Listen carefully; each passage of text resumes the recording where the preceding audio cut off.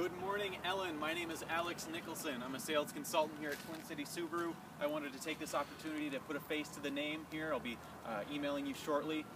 And I also wanted to show you that we have the Carbide Gray Legacy in premium with the black interior that you specifically asked about. We have it here. It doesn't have anybody's name on it but yours. It's screaming your name.